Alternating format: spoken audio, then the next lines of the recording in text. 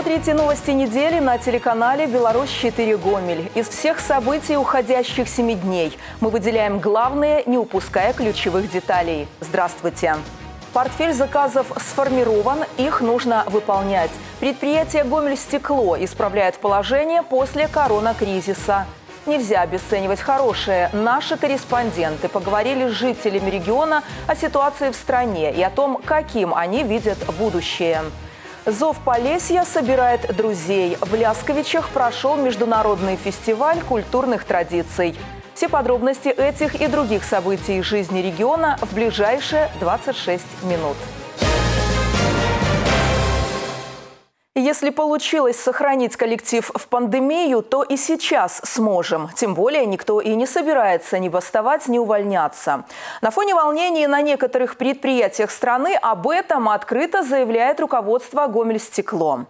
Наши корреспонденты побывали на производстве и узнали, как там дела. И экономические, и с настроением в коллективе. Гомель-Стекло – около двух тысяч сотрудников. Предприятие работает в круглосуточном режиме. Его нельзя останавливать. Это понимает каждый вовлеченный в производство. Владимир Пехота на заводе уже более 15 лет и другого рабочего места даже не представляет. Говорит, главное для него – стабильность. Как раз такое чувство уверенности дают любимая работа и хороший коллектив. Для меня развитие моего предприятия, я больше чем уверен, это самый главный фактор для меня.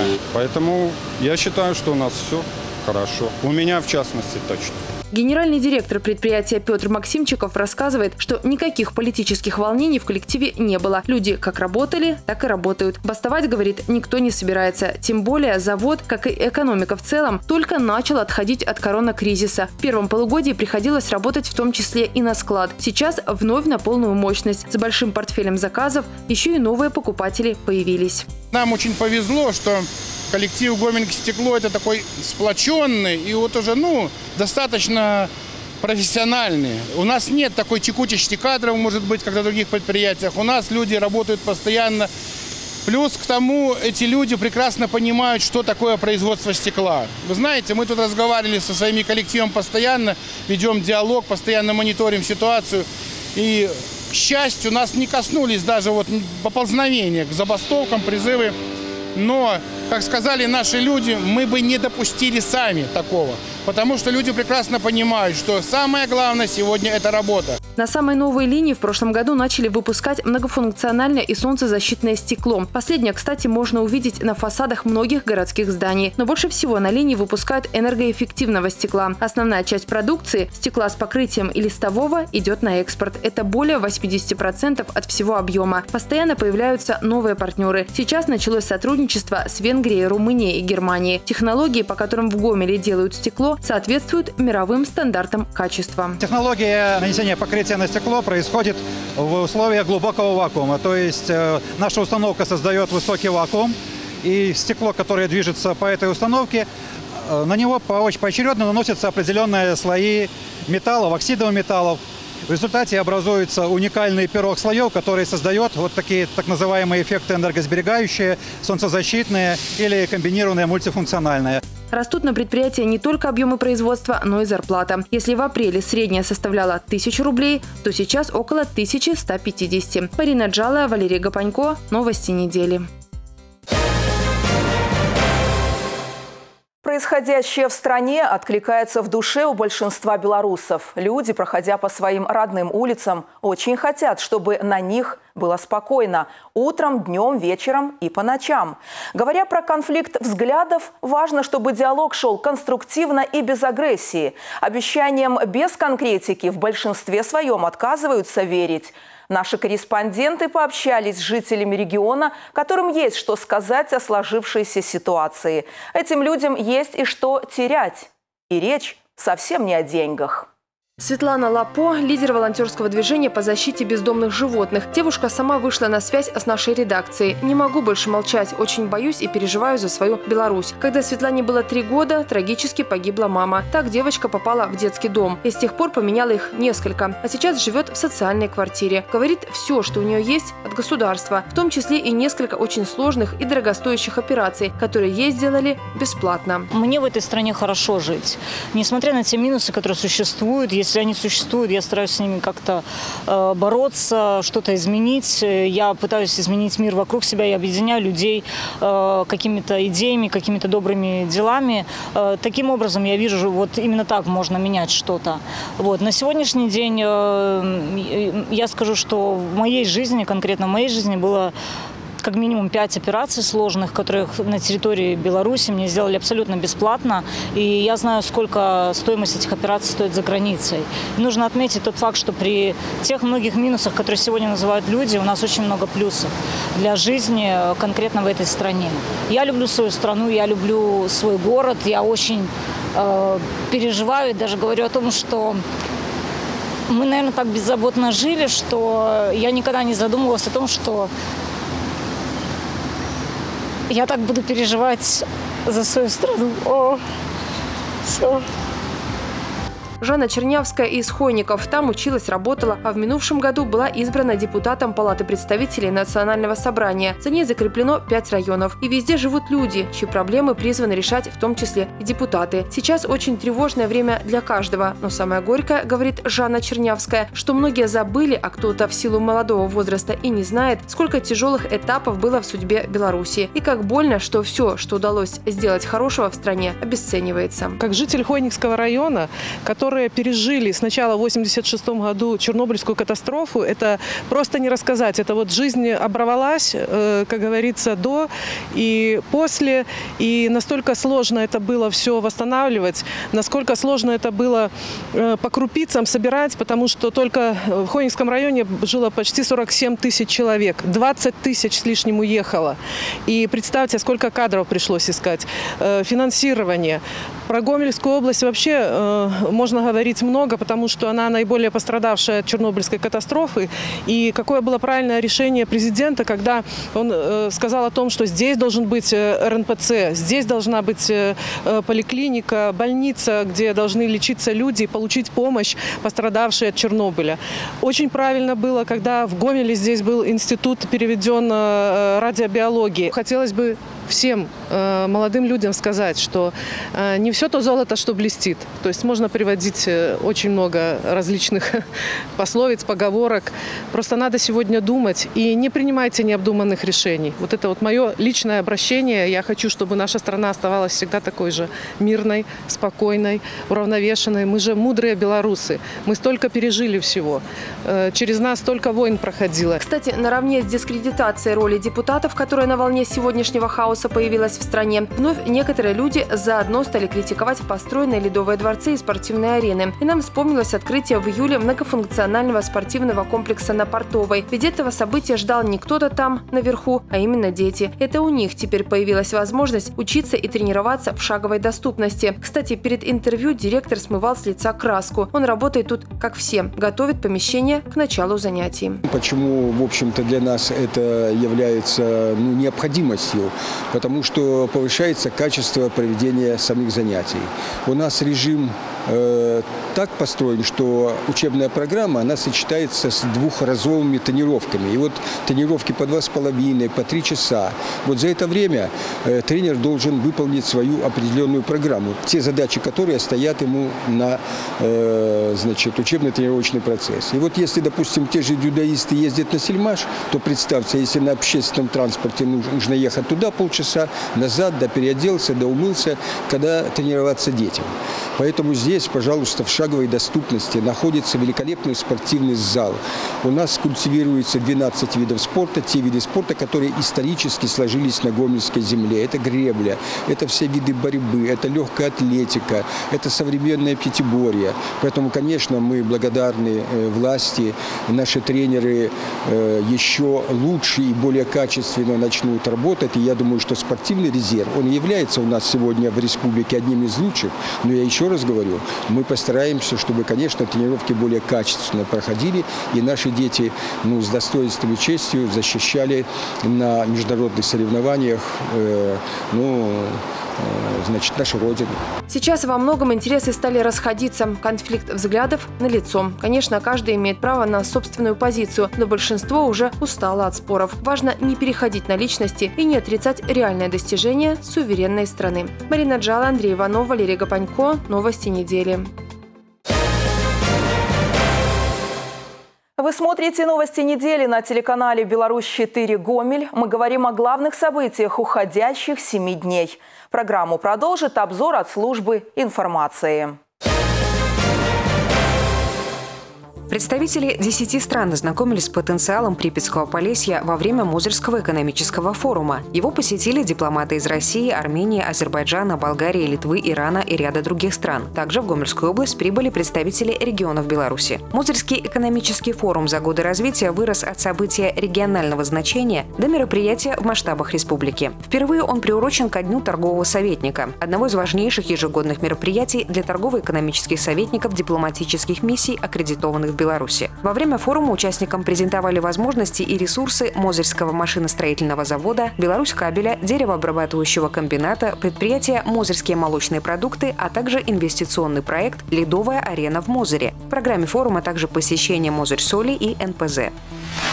Выполнение требований директивы президента номер один рассмотрели на заседании Гомельского облсполкома. Анализ деятельности местных исполнительных и распорядительных органов по реализации положений документа показывает, что комплексная работа приносит определенные положительные результаты. Снижается количество погибших в дорожно-транспортных происшествиях и на воде. Однако в то же время увеличилось число жертв на пожарах и на производстве. Ситуация на предприятиях в целом вызывает беспокойство. Нередкость формальный подход к соблюдению правил техники безопасности самими рабочими рабочими и их руководством, а также факты эксплуатации неисправного оборудования. Это, пожалуй, основные и до сих пор довольно частые причины, приводящие к смертельным случаям и серьезным травмам. В ходе заседания исполкома отмечено, что деятельность мобильных отрядов исполкомов может стать действенной мерой по предупреждению нарушений трудовой и исполнительной дисциплины. В первом полугодии такими группами было проведено 650 рейдов, в ходе которых выявлено более 9 тысяч нарушений, почти половина из них по охране труда.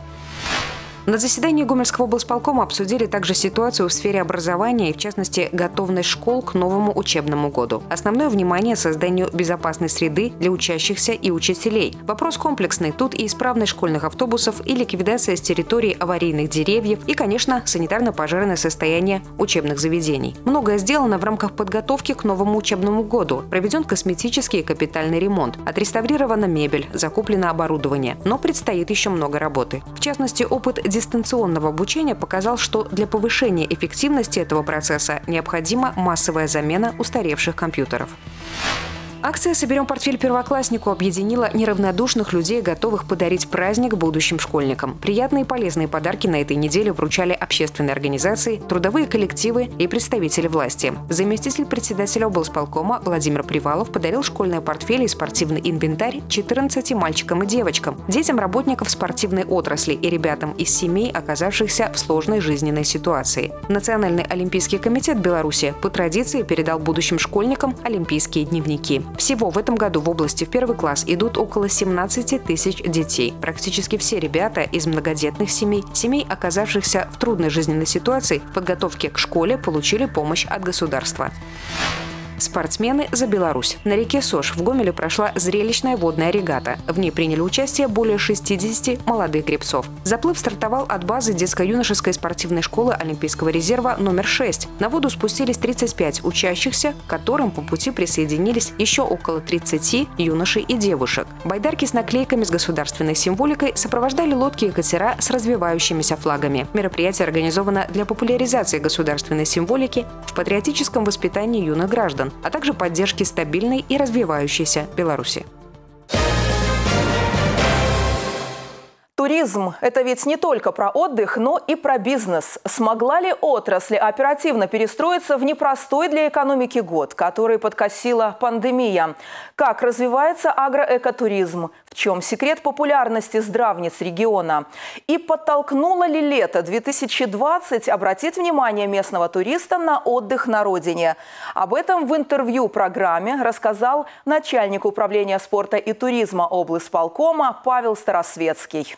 Павел Анатольевич, вот интересно, а как пандемия с ее ограничениями повлияла на развитие туризма в регионе и повлияла ли вообще? Ну, конечно, повлияла, потому что людям э, все равно э, пандемия не, пандемия, люди работают, человек должен отдыхать, он должен восстанавливаться. И когда мы коснулись, а куда же мы поедем отдыхать, туда нас не пускают, там нас не ждут, там мы оттуда вернулись. Э, люди, соответственно, начали искать и, как говорится, воткнулись в определенную непонимание со стороны, что а куда ехать, да, потому что все-таки э, не совсем актуально есть и э, в полной мере представлены те объекты, которые можно посетить. И это дало определенный толчок и нам, как управлению спорта, и туристическим операторам взяться себя за руки и развивать внутренний туризм. А, а то, что мы готовы показать, то, что у нас есть показать, это все-таки ну, довольно-таки обширно, объемно.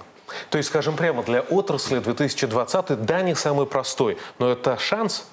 Э, он должен был быть такой год – для того, чтобы мы переосмыслили и пересмотрели. Я хочу э, вот назвать одну цифру, 2 миллиарда долларов. Это действительно такая цифра, которую белорусы за год вывозят в Египет. Ну, кажется, только да, в Египет? Только в Египет. Эти данные, которые привез министр э, по туризму и культурных древностей Египта на встрече буквально две недели назад с министром спорта и туризма Республики Беларусь Сергеем Михайловичем Ковальчуком.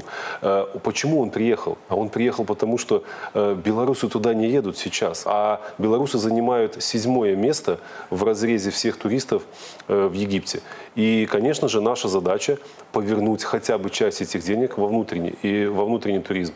И, соответственно, если какая-то доля этих денег будет направлена сюда. Это даст в первую очередь э, толчок развитию самому туризму, потому что бизнес будет работать совершенно. Соответственно, это рабочие места, это доход. Этим, соответственно, будет интересно заниматься. И уже у нас будет не 170 объектов агротуризма, а намного больше.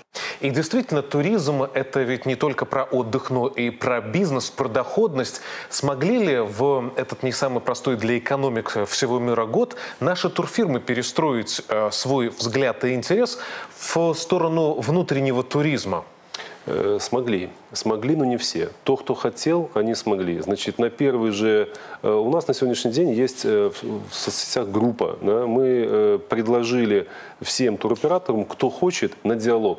Но не, не диалог именно как власть, и бизнес, да, а диалог как друзья. На сегодняшний день мы должны объединиться и вместе выходить из этой сложной ситуации. Да, люди пришли, да, они пришли сначала где-то с, э, с такой, знаете, а, опаской, вот, сейчас там что-то будут им говорить, что-то будут требовать, но когда они услышали, что мы им хотим помочь, мы э, готовы выступить дополнительной площадкой для того, чтобы помогать им продавать те услуги, которые есть, они очень активно откликнулись, и самое главное, у нас появилась вот эта вот обратная связь. Мы, э, сидя в кабинетах, не совсем видим то, что нужно э, людям, то, что нужно э, бизнесу, то, что нужно туроператорам. А вот у нас получается очень замечательный диалог. Спасибо им, и я думаю, что эти, именно конкретно эти люди, которые приходят, э, мы, у нас хороший симбиоз получается, и какие, они уже перестроились. Какие сферы для э, продвижения в этом плане в Гомельской области э, в рамках отрасли наиболее перспективны?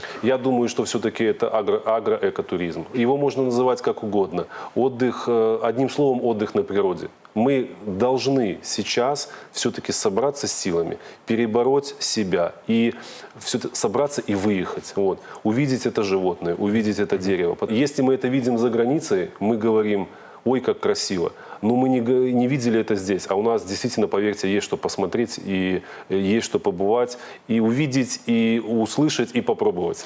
Сегодня в области более сотни агроусадеб. Сколько из них действительно толковых? Э, они, в принципе, толковые все. Э, значит, но мы можем говорить о том, что кто-то предоставляет э, услуги, больше услуг. Кто-то только ночлег, кто-то кто, -то, ночлег, кто-то комплекс. Фишка. И самое главное, что на вкус и цвет, как говорится. Вот. Потому что есть у нас агроусадьбы, которые только там 20 рублей за вход, да, а есть у нас агроусадьбы, где 5 рублей стоит ночлег. Такие тоже должны быть, э, но ночлег там не предполагает какого-то сервиса, он предполагает место в палатке. И я хочу сказать, эти вещи тоже востребованы, потому что каждый вид отдыха, он имеет место на жизнь, но мы должны его, как говорится, обернуть в, как в обертку, показать людям, чтобы он захотел Красиво подать. Действительно, Совершенно очень верно. много интересных объектов, Совершенно но верно. мы, к сожалению, пока еще далеко не все и не все научились правильно подавать. Хромает маркетинг. Хромает маркетинг э, именно у самого бизнеса. Вот в тему «подать и продать», а, готовясь э, к разговору, узнал, что около 50% экспорта услуг отрасли делают санаторно-курортные учреждения. Здравницы шустрее перестроились в активном своем продвижении? Ну, здравницы, они всегда были валовым таким источником дохода всего экспорта туристических услуг. Э, Ну, это, понимаете, мы говорим сейчас об экспорте, об иностранцах. То есть иностранец, да, он на сегодняшний день больше едет для получения услуг именно санаториев, лечебных, восстановительных, реабилитационных, потому что наши санатории, они действительно располагают э, той материально-технической базой, тем квалифицированным персоналом, который готов эти услуги не только продать качественно, но и, э, ну, как сказать, оказать. Потому что зачастую человек же куда идет? Он идет, ему все равно в какой санаторий, он идет зачастую к доктору, именно к этому доктору. Почему и у них своя клиентская база, и редко, э, ну вот мы даже делали такое исследование, что россияне, он, он не бросается из одного санатория в другой. Он, как Если правило, уже понравилось, понравилось, он знает, что там вот работает там условно Вера Сергеевна, а там работает Ирина Васильевна, вот, которая сделает качественный массаж или сделает качественно какую-то услугу. То есть даже не за ночлегом, а за услугами, Совершенно за качеством верно. услуг. Ну, вот здесь парадоксальный момент в завершении. э, Поговорим об этом. Российские и зарубежные туристы э, раньше белорусов поняли, что отдых э, в Беларуси, в Гомельской области не только э, здорово, но и здорово. Это сложилось уже традиционно не год, и не два, и не три назад. Э, Значит, почему пошла такая тенденция? Разница ценовая политика. Ценовой уровень в России, он был намного выше, чем ценовой уровень э, в Республике Беларусь. И люди аккуратно когда-то решили попробовать ну, лечиться, мы же все хотим быть здоровыми. Нам же после отпуска выходить снова на работу. Они попробовали, они распробовали, и они поехали. И вот этот вот именно э, большой поток иностранных туристов дал определенный толчок для развития этих санаторий и для развития их материальной базы. Если бы этих туристов не было, загрузка санаториев была бы не такая э, большая. И мы, возможно, остались бы еще там в 90-х, да, в 80-х. Это очень хорошо, что российские санатории подняли цены. Это дало нам определенный толчок этому. Ну, я не могу сказать бизнесу, они санатории, это все, как правило, государственные или профсоюзные. Ну а наши люди чаще стали отдыхать здесь, в Гомельской области, вот за этот год? Да, да, чаще, потому что уже, во-первых, им стало легче, да, то есть у нас же люди, э, мы не плани... зачастую не готовы планировать свой отдых. Ну, у многих людей он так спонтанно. И в свое время, когда это было все оккупировано, ну, я могу назвать это, поймите меня правильно, с нормальной точки зрения, то есть было занято ро- российскими туристами, то наш местный, он и не мог получить эту услугу, потому что все распродано. Уже даже на сегодняшний день, когда мы выходим из этой ситуации, э, до конца лета во многих санаториях все распродано. Даже И, в период пандемии? э, ну да, она уже сейчас выходит, и э, даже если мы сейчас скажем, а вот я хочу, а уже все, поздно. Вот, поэтому нужно быть немножко расторопнее. Павел Анатольевич, спасибо за это интервью, успехов в делах и до встречи в эфире. Спасибо большое вам также. Всего доброго. Фестиваль этнокультурных традиций «Зов Полесья» вновь собрал друзей. Вчера в агрогородке Лясковичи Петриковского района свое мастерство демонстрировали фольклорные коллективы и народные умельцы из Украины, Молдовы, России, Прибалтики, Польши, а также из Индии и Китая. Вообще в программе фестиваля было много позиций с отметкой «Впервые». Интерактивная площадка «Хлеб моего Полесья», выставка победителей областного пленера «Фарбы моей краины», концертно-игровая программа аутентичных коллективов «Фолькфест», фестиваль резчиков по дереву. Впечатлениями от увиденного делятся наши корреспонденты. На этот раз международный фестиваль «Зов Полесья» начался с неформальной международной встречи членов оргкомитета с участниками Мозырского экономического форума. Накануне у дипломатов 10 стран был достаточно напряженный деловой день. Сейчас им предлагают ознакомиться с традиционной культурой белорусского Полесья. По большому счету, это тоже укрепление связей между народами. Добрые отношения между народами и странами строятся на понятных вещах. Если борьба, то спортивная, если состязание, то интеллектуальное и творческое, если конкуренция, то честная. Спасибо вам за верность идеям сохранения мира и добрососедства, за продолжение конструктивного диалога по укреплению экономических связей. Дамы и господа, приглашаю вас всех окунуться в уникальный быт белорусских полишуков. Фестиваль этнокультурных традиций 2020. Это 8 подворий Гомельской области и 3 Брестской, каждая со своими местными особенностями. Где-то предлагают ознакомиться с прапрадедушкиными рецептами заготовки трав, где-то исполняют песню, которую пели уже достаточно далекие предки современных полишуков. Неизменный интерес у гостей вызывают, как бы их сейчас назвали, орудия производства. Те же жернова, например. Тем более, когда можно получить еще и своеобразный мастер-класс. Я думаю, минут 15 можно крутить. Больше, наверное, не это самое, потому что как-никак рука все-таки устает.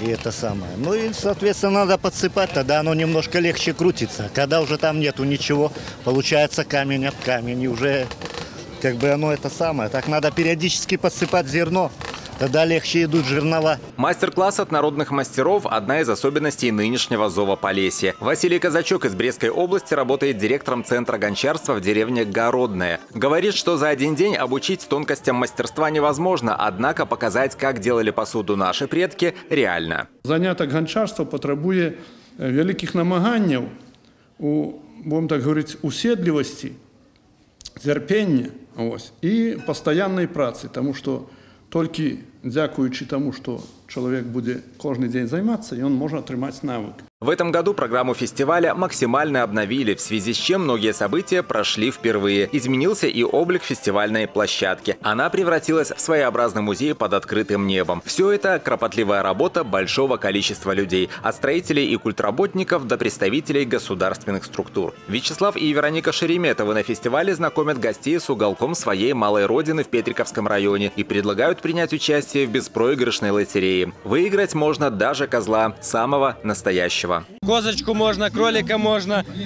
ли, лимонадик, вафельки, все подряд. у нас беспроигрышная, да, какой-либо подарок все равно да будет.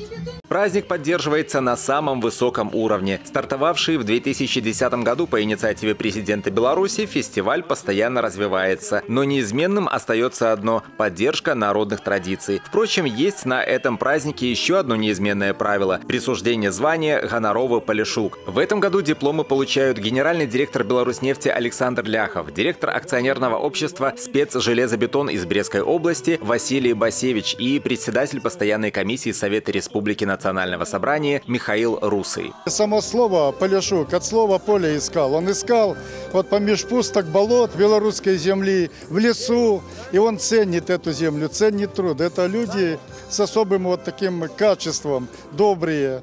Ведь у Полешуков никогда не было замков. Стояла палка в дверях, значит дома никого нет, никто не заходил. Это гостеприимно. Зашел человек, он уже гость. Вот ты сын, будь ты кто, но ты гость. Поэтому Э, учили всегда нас быть, любить людей. Это самое главное, уважать людей, помогать друг другу. Видимо, вот это и заложилось в традиции вот нас всех, как Полешуков, и переложилось как на всю Беларусь. Участники фестиваля «Зов Полесья» говорят, что это хорошая возможность не только показать культуру своего края, но и продемонстрировать такие лучшие качества полешуков, как гостеприимство и доброжелательность. Здесь всегда все делали искренне и по-настоящему, думая не только о нынешнем, но и о завтрашнем дне. Сёння на абноўленай пляцоўцы мы з вами чуем беларускую мову, якая гучыць, фальклор наш. Мы бачым все наши самабытныя калектывы, якія паказваюць свае прамысловыя і другія напрамкі. І гэта пляцоўка з'яўляецца месцам адзінства, месцам не барацьбы, а месцам нашай, дзе мы з вами аб'яднаемся і дзе мы за сваю суверэнную Беларусь выказваем свае словы і думкі. Дякую вам за все и всего вам належшего, за нашу родную Беларусь. Олег Сенцюров, Александр Лупиненко, Валерий Гапанько. Новости недели. И на этом у меня все. Мы встретимся в следующее воскресенье, чтобы вместе подвести итоги недели. Спасибо за внимание и до свидания.